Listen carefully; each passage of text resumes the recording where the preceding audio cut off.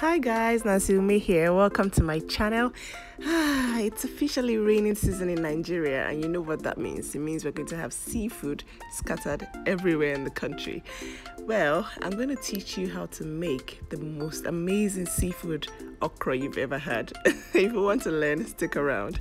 We're going to need some cayenne pepper, scotch bonnet or rodo, onions, paprika or tatashe, one large dried fish, stockfish, periwinkles, crayfish, prawns. See, eh, you know what? Just use any seafood you can find, you know, in your area. I used some crabs. They've already been cleaned. I cleaned them at the market because I ain't got time for that. And you need your fresh okra. Make sure you try the freshness test by trying to snap off the edges. And if it doesn't come off, then you know it's not fresh. now you need, I know it's seafood okra, but see, eh, there's no seafood okra without pomo. It's actually some of one of the things that are allowed in this recipe. So clean your fish, you know, gut it, and then season it with some salt, bouillon cubes, and cayenne pepper. We're going to be grilling. This is actually a low-key Fitfam recipe. So the total you know amount of oil we're going to be using here is about one cooking spoon so that's pretty amazing.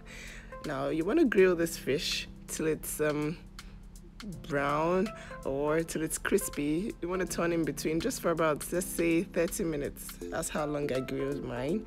You could also steam it you know if that's your preference. Now we're going to blend uh, paprika scotch bonnet and onions with some water this is the base of the soup. And the reason why we have a lot of paprika is so that we don't eventually need a lot of palm oil. So that's a Fitfam shortcut there. Now clean your okra. We're going to divide it into two parts. We're going to slice um, one part. However you want to slice it is fine. I just cut mine in a round um, shape and we're going to blend the other part with some water. Now the reason is because i want to actually increase the viscosity. That's the drawness of this soup. So that's why i'm blending some some of it. Uh, if you don't have you can actually just slice everything if that's fine with you. Slice up um, i know this is not seafood but see eh, when you add it you come back and thank me eh?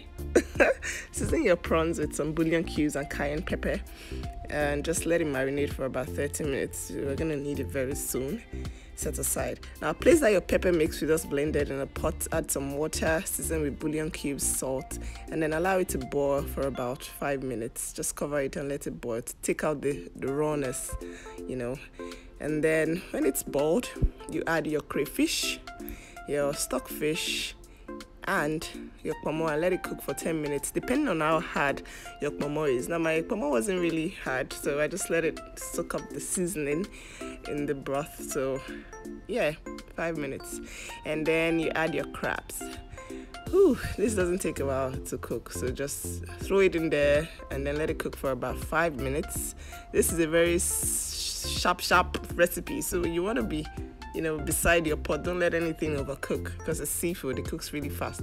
Now add your dry fish, periwinkles, and your prawns, and then let it cook for another five minutes.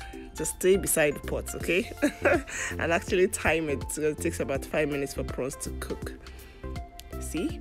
And when it's cooked, you add your palm oil. See how small the palm oil is. Yeah, it's because we use a lot of paprika. So let that cook out for about two minutes, and then take out the crabs. The reason why we're taking it out is so it will let us, it will allow us, give us space to actually turn the okra. You'll see what I mean in a couple of seconds. So take it out, and then add that blended okra you just blended you want to switch the spoon because you see this is not really doing much because it's very very viscous.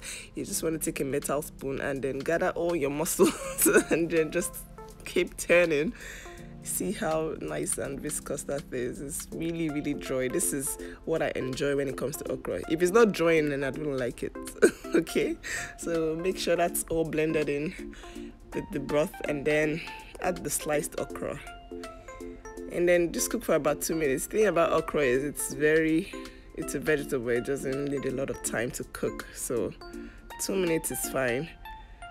And basically you just want to stir until everything is very nice and blended.